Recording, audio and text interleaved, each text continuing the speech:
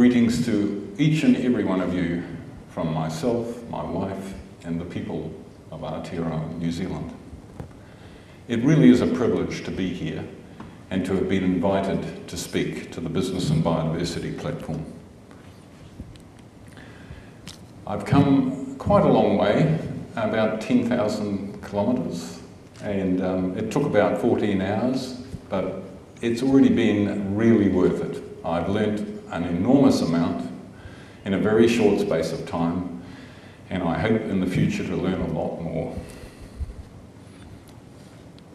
I'm going to start by giving you a little background on the biodiversity imperative in New Zealand, because this is what has led me to what I believe is a pragmatic approach to how we reverse the decline of biodiversity, not just in New Zealand, but in other countries around the world.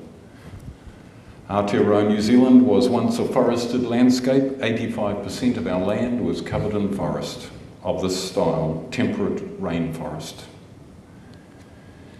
And in one of the fastest and shortest periods of time known to humankind, we transformed our landscape enormously because New Zealand has only been occupied by people for approximately 700 years. That's a very short history. First an arrival by Maori, 700 years ago, and in the 1800s, the Europeans arrived. So we had an ecosystem which was dominated by birds and bugs. Birds and bugs. And the biggest of all our birds, the moa, now extinct, stood nearly three metres tall and was hunted to extinction by the Maori people. We converted our land in a period of 120 years to one dominated by pastoral agriculture. And the scene there in the screen, Canterbury Plains, where there is hardly any trace left of our indigenous biodiversity. More importantly, we brought a whole lot of pests into the country. We only had previously three mammal species, the bats, one of those is extinct. Um, two still remain, but we brought in a whole lot of pests rats, cats, stoats, weasels, ferrets, you name it, we brought it in. And as well, we brought in many, many plants. The vascular flora of New Zealand is only 2,500 species. It's a global biodiversity hotspot because not of the number of species, but because of the very high level of endemism. Over 80% of our plant species are found nowhere else in the world, and the only place that can top that is Hawaii, 95%. So we brought in a whole lot of plants. We now have more exotic plants naturalised in New Zealand than our indigenous native flora, more than 2,500, and we have 20,000 species sitting waiting in our gardens to invade as environmental weeds. And in terms of extinction, the area that has been most affected are our birds. So we've lost 57 species of birds completely, forever. We've only lost five plant species, so we're not doing too badly there. And of course, we've lost many, many of the bugs. Now, some people might say that's a good thing, but if you understand the way ecosystems operate, you know that you've got to have bugs. Bugs perform all sorts of services like pollination and decomposition, and you cannot afford to have an ecosystem without bugs. And we have lost an unknown number bugs because we did not document them before we started losing them. And that image there is an image of a subfossil weevil. We had giant weevils all over our mainland before the arrival of rats and mice, and they've all become extinct even before we documented them. We did start moving on putting aside conservation estate quite early in our history. In fact, some of our earliest national parks were created in 1880. And we currently have 30% of our land area set aside as national parks and reserves. That's a great figure, but we all know that putting something into a reserve legally is not the same as protecting it because it still requires active management. And as well, the areas that we set aside were unrepresentative of the whole biodiversity of the country. We tended to set aside the bits that we couldn't develop. So all of the high ground, the mountain ranges and the tops of the mountains were set aside as national parks. And that one there is the one from where I was born. I was born at the foot of that mountain, the volcano Mount Taranaki. And you see the lovely circular boundary of the national park caused because the surveyor put his compass on the map and drew a circle and said that will be a national park. In our lowland and coastal zone, in recent years we've been very effective at convincing private landowners to set aside parts of their own property. And so we have this organisation called the Queen Elizabeth II National Trust that is setting aside covenants. And we now have over 114,000 hectares set aside this way, which is equivalent to three times the area of some of our smaller national parks. Our ecosystems have declined and degraded for the same reasons that your ecosystems have declined and degraded. Habitat loss, predation, competition by weeds, uh, environmental diseases, phytophthora, killing forests, myrtle rust, and of course, more recently, the reason for decline is land use change and intensification of land use, particularly agricultural land use. And then we have the unknown impact of climate change. We're only just starting to get a handle on what the impacts of climate change might be. So the prognosis for our biodiversity in New Zealand is that it continues to decline on the mainland. The management required is in perpetuity. It, it has to be ongoing, an ongoing commitment. And ceasing management results in rapid loss. That has made us really focus on practically finding solutions.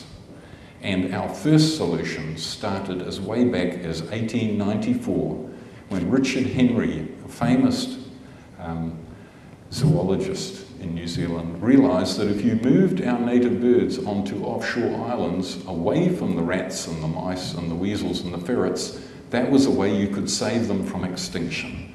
He was followed closely by a man by the name of Don Merton in the New Zealand Wildlife Service, who started in 1976 with some very world breaking efforts to save birds from extinction. New Zealand actually was perfectly designed to save birds because around our shores we have more than 220 small offshore islands, and they were the places that thankfully we could move our birds to the offshore islands to save them. And one of the most famous ones of all, the Chatham Island robin. It got down to four individuals and one female.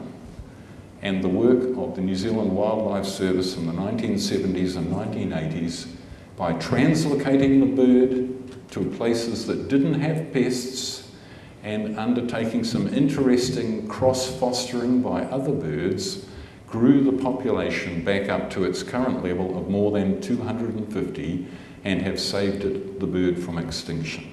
Otherwise it would have just been on the $1 coin, which wouldn't be much use to those of us who love biodiversity. From 1995 on, we took another shift in the way we approached saving our biodiversity. We realised that we can't just save it on offshore islands, we've got to do something about it on the mainland of New Zealand as well. And that's when we started the program known as the Mainland Island Program, whereby intensive pest management in the locations marked on the map there, we tried to reverse the decline on the mainland. That idea took off dramatically. The current state of mainland island sanctuaries is this. Every one of those dots is a place in New Zealand where we're doing intensive management to make sure we save our birds and our ecosystem. And so we call these biodiversity sanctuaries. What are biodiversity sanctuaries? They're places where we do this intensive management. We reintroduce missing species, We manage the risk of reinvasion by pests. And we inspire and galvanise communities to look after their own backyard, local conservation. So currently there are 73 of these sanctuaries across New Zealand and 42 of them are not run by government agencies, they are run by the community. This is the one closest to where I live in Hamilton, in a place near Cambridge, Maungatautari Ecological Island, a small volcano, 3,500 hectares, completely fenced with a predator-proof fence, with a grill on it so small that even a baby mouse cannot crawl through the fence. And inside that fence, all of the pests have been killed and removed, and that allows us to bring back our much loved birds. Birds like the hihi, the kaka, the tieke, and the most important one of all for New Zealanders, the kiwi. So you all know that I'm a kiwi, and that's a kiwi. And this is what we identify with the kiwi bird. So I've become very interested in recent time in wondering whether or not we can just do some conservation, not just in the backcountry and the wildland and the Department of Conservation National Parks, but can we do it in the city where we all live? Because the most important thing we need to do is to reconnect humans with the environment not have the environment separate from humans, but connected to humans, and especially connected to children. And where do we do it in New Zealand? Increasingly, New Zealand actually is an urban nation. 87% of people live in towns and cities. They don't live in the rural zone at all. You can drive around the rural zone, you won't even see people, they're not out there. So, this is where we are starting to do our conservation now. In Hamilton, we've been doing it in these places called Hamilton Gullies. Right within the city, there are 750 hectares of gully habitat, streamside habitat, where we've been working on planting and bringing back habitat. We started this in about the year 2000, focused on these gullies. This is what a gully looks like in our city. Most of those gullies were dominated by introduced weeds, and we have been progressively taking the weeds out and putting back the native forest. And our target ecosystem is one that we've designed by our understanding of macrofossils, um, composition of remnants, knowing what used to be there and bringing it back. So, this is what you can do in seven years on the left and what you can do in 20 years on the right. You can bring it back. So we've also been working on a very special sort of a park called a Natural Heritage Park, again in Hamilton City, where we're trying to bring back all the ingredients of the original ecosystems that had been completely removed, because the ultimate experiment for an ecologist like me is to reconstruct an ecosystem. This is the progress we've made in 10 years. And we are reconnecting with people, especially young people.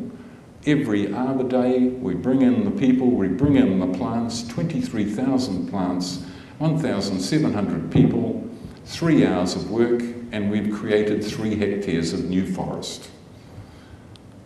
Again, we're doing this to bring back the birds. And the bird that is our target bird in New Zealand in the city is tui. It's got this amazing little fluffy bit of white feather under its chin. So the European name for it is the parson bird. You know the parson in the church? That's the tui. So combined with all of the planting and an intensive pest control program 15 kilometres around our city, we have reached what is called the Tui tipping point. After 120 years of absence from our city, we have brought back the tui. So my key point here is that the new frontier for conservation in New Zealand is actually the urban area. Urban restoration is the new frontier. That's the end of chapter one. I'm now into chapter two. I'm just going to give you some conceptual and strategic framework about how we operate now in New Zealand, which I think will become increasingly relevant to what you're interested in. Because of this history I've just outlined, we realised that we could not carry on the way we've been going for the last 150 years because actually to make progress with reversing biodiversity decline, you cannot have an adversarial resource management model where developers and conservationists are in conflict. And we've been progressively trying to develop coordinated, integrated approaches forming the best teams in New Zealand.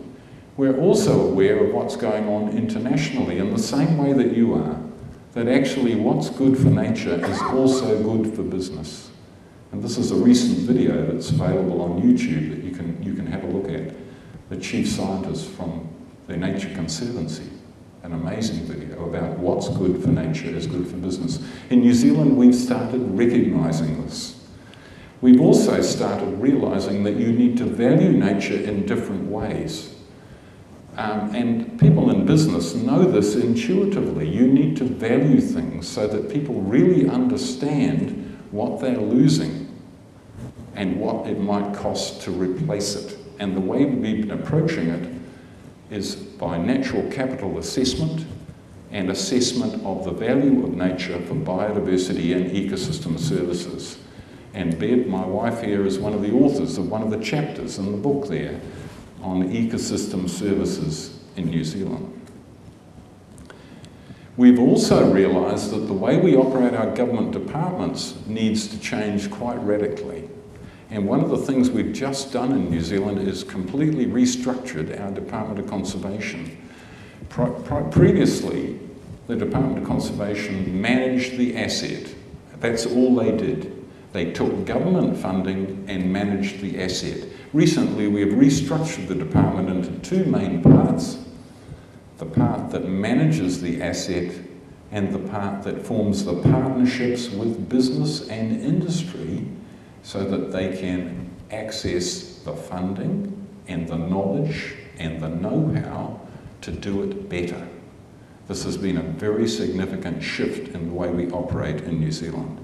At the same time, this is what I've been doing for the last two years of my life in New Zealand. I've been working extremely hard on putting together what is called the Biological Heritage National Science Challenge. This is mission-led research to support all of the partners who are trying to reverse the decline of biodiversity. So the government has put new money into the challenge and we are developing this partnership approach, a coordinated partnership approach where rather than competing and contesting for the funding, we're coming together in a partnership to work together to help reverse the decline of biodiversity. So we've realised that private funding is essential for conservation because the government funding will never be sufficient. That's the case in my country anyway. And therefore we also understand that you know, development will continue. We have tools like offsetting and mitigation that we can use but business and biodiversity can and must be compatible because we need each other to make this work. Another thing that's happening in our country is that we are moving into a phase where philanthropy is becoming more and more important. So we are looking at ways of strategically utilising philanthropy to support biodiversity. So biodiversity offsetting is becoming more common compensation for development. Um, biobanks in some parts of New Zealand are becoming are coming into development. All of these things can help resolve development versus biodiversity. And putting together the research, engagement and collaboration and enhancement will help in building back our biodiversity. I'm one of the scientists in New Zealand who promotes the idea that you must talk to everybody. You are not there to have a conflict between the environmentalist and the business Actually, you need to engage with all parties without fear or favour and work together to find the solutions. And in fact, in New Zealand, we are boosting engagement with energy, primary sector, and big industry. The third chapter and the last chapter in my story is to look at examples of profitable business supporting nature. Before I get into some of that, I just wanted to remind you that the view there is actually the most important business in New Zealand as far as nature is concerned, because it is the one that earns the second most income revenue for our country tourism, and it is all entirely based on nature. The need for people to come and visit and see these amazing views, scenery, activities, all connected with our landscape. $62.5 million a day coming into our country because of scenery like this. I've seen scenery just like this in my tour around Sri Lanka. I'm sure it's the same here. What I did was do a quick analysis before I came on this trip.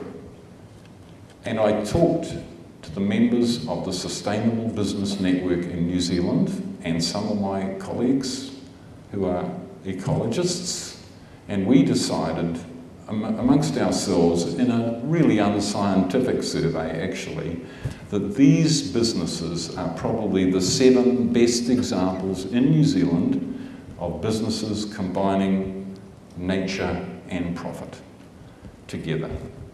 So I won't read them all out, I'll just quickly skim through to the diagram here which explains what, what they're doing.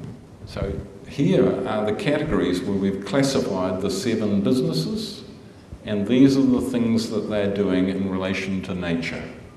So carbon neutral, biodiversity offset mitigation, circular economy where they're using their own waste to provide energy for their business, capacity building, where they're training the community to be the people who go out and help do the work for biodiversity, ecosystem services evaluation, and restoring species and ecosystems, and funding research on species and ecosystems. Those are the, the seven best examples in New Zealand, and this is what they're doing. I also thought I'd quickly talk about possibly the best example I could find in New Zealand at the moment because of those seven criteria, this business fits the bill for six of them. Mighty River Power, which is an energy company based in the Waikato and is listed on our stock exchange. It was a government agency, but then it was privatised and now has shareholders like any other business and it generates between 15 to 17% of New Zealand's electricity. New Zealand has a strong energy industry based on renewables. 80% of our energy is renewable energy. So the Waikato system is quite close to where I live and is based on New Zealand's longest river and it has a catchment, as you can see there, of just over 14 square kilometres. Nine power stations all in a row down the river supplying the power for Waikato and a large part of the North Island of New Zealand. The model that they use is what they call the guardianship model. And in Maori, the indigenous language, the word is kaitiakitanga, or guardianship. This is the concept of looking after the place where you live, being part of the place where you live, looking after it, building partnerships, making a living but at the same time treating the environment softly and sustainably. And this is the model that Mighty River Power follows. So they built strong relationships with Indigenous people, the Maori people of New Zealand, and they fund compensation and mitigation for the use of the resource and for the to pay, pay back, if you like, to pay back for damage done when the dams were developed. And they do this through a trust called the Waikato Ecological Enhancement Trust. So you can see there that the history of the trust is that it was developed as part of the reconsenting process for the river system and a collaboration in relation to ecological research, interpretation, uh, agreed mitigation. The trust is made up of representatives of the community who have the biggest interest in the river and the resources in the river. You can also see that so far the Trust has invested $3.2 million in 178 projects and a further $1.83 million is to be committed. So 2015 is year 12 in the 38 year life of the Trust. From the map you can see the distribution of the projects that they're involved with and again you can see that they are spread right across the catchment of the Waikato River, the catchment of the, of the main river of the Waikato region, a diverse set of projects including largely wetland restoration, but also some other ecosystems as well. And here an image of the teams, one of the teams. So you remember the comment about capacity building. So here we have a team of people who've been trained in how to best plant up the riparian zone of the river. So essentially the plants are put in place. You can see them there with their little weed mats to protect them from weed invasion and they're putting those plants in mainly to buffer and protect the river margin to prevent in particular the runoff of nutrient from the adjacent farmland. Another project that Mighty River Power have been involved in is in relation to enhancing the populations of the native fish the eel, the freshwater eel that lives in the rivers, and they do this in two main ways. They have what's called the elver catch and carry process, so remembering that the young elvers of the eel migrate up the rivers to colonise the, uh, the waterways. And so if you want them to move through the hydro system, you actually have to assist them by lifting them, bringing them across the barrier formed by the, each of the dams in the Waikato hydro system. And so the graph here really is just showing the enormous numbers of elvers that are collected at the foot of each of the dams and then assisted and taken across, transferred across the dam so that they can continue their journeys up the waterway. In the same way that Mighty River Power funds the protection of the elver colonisation in the river, they also need to consider the adult eel because the adult eel, of course, needs to traverse downstream, down the rivers, and then go out into the ocean where they lay their eggs and start the cycle all over again.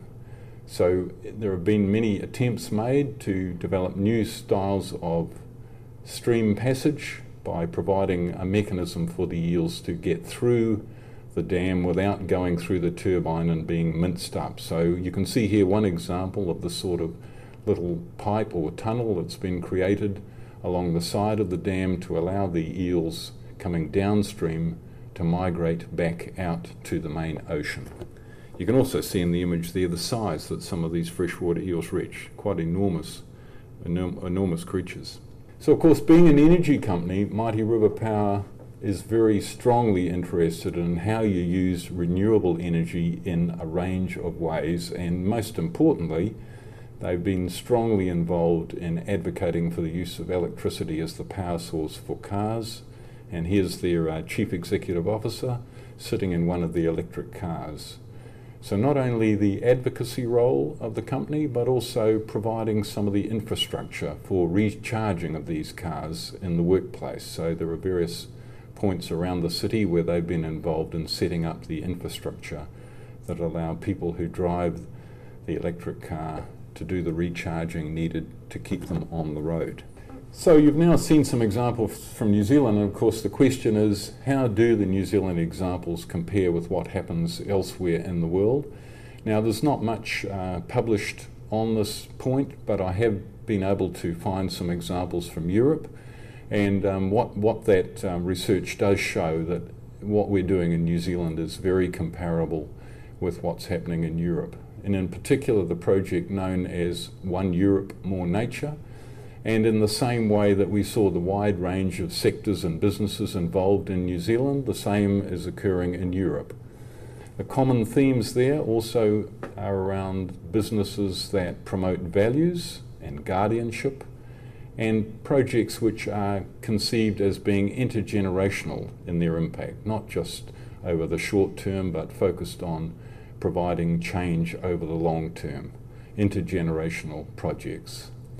The businesses that did well in Europe were also considered to be ones that did not just reduce their environmental footprint, not merely reduce their environmental footprint, but actually actively created or enhanced aspects of the landscape, the biodiversity, or both. And the biggest advantage to business in taking this approach is that businesses that do this sort of work, do the mitigation, the compensation, the creation or enhancement of the landscape and biodiversity, are able to derive a premium positioning in terms of the marketplace. And this is definitely true for the companies in New Zealand that I've just outlined to you. So the challenge is in front of us. And, and the point that I want to conclude on really is that I've given you a range of examples of how people can work together cooperatively, how they can integrate their activities, and the big challenge for New Zealand is can we broaden and deepen our performance? And as indicated in the book published in 2012, Super, Super Cooperators, altruism, evolution, and why we need each other to succeed, can we work together more closely to achieve what some people call super cooperation and use this to help us reverse the decline in biodiversity? Thank you very much.